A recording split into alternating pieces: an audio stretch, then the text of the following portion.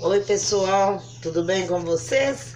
Olha gente, hoje aqui eu vou fazer um feijãozinho preto básico, não é feijoada não, tá ok?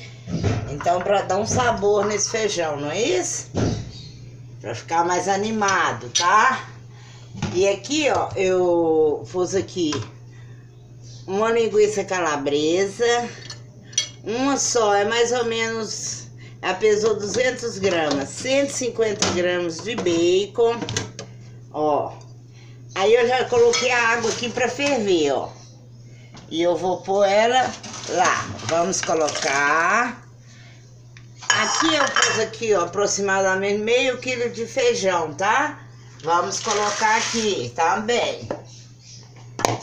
Aqui eu tenho uma cebola média, tá? Picadinha.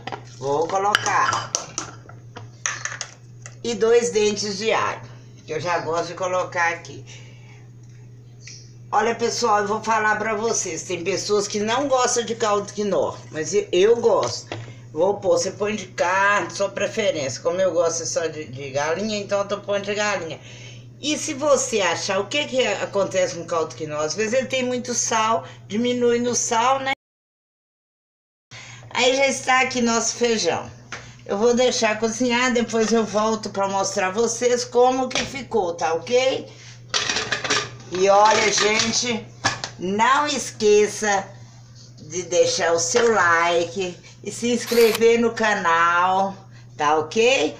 Olha, gente, como ficou aqui o nosso feijão. Olha, não é feijoada, é só um feijão. Eu gosto de fazer assim, ó. Esse feijão assim, olha como ele ficou.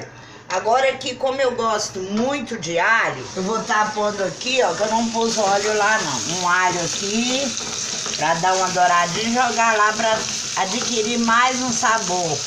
Gente, quem gostar de louro, pode pôr umas duas folhas de louro aqui, ó. Eu coloquei, tá bom?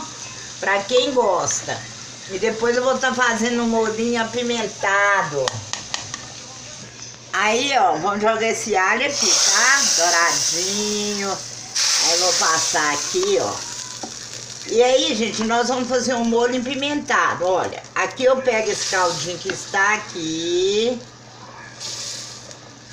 Vou colocar esta pimenta aqui, ó, já compra ela moída, malagueta.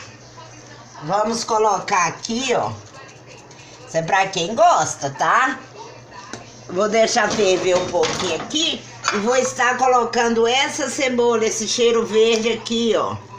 Pra ele ficar aqui, pra fazer esse molho. É um molho apimentado, mas isso é pra quem gosta, tá? E aqui, olha aqui que maravilha, tá? A nossa cor, não vou refogar, porque a minha irmã que corta pra mim, olha, ela corta muito fininho, então faz até dó refogar, porque ela some. Então eu deixo tipo uma salada, tá bom?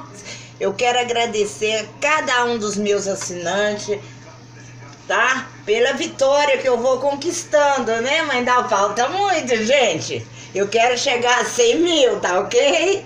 Um beijão grande pra vocês.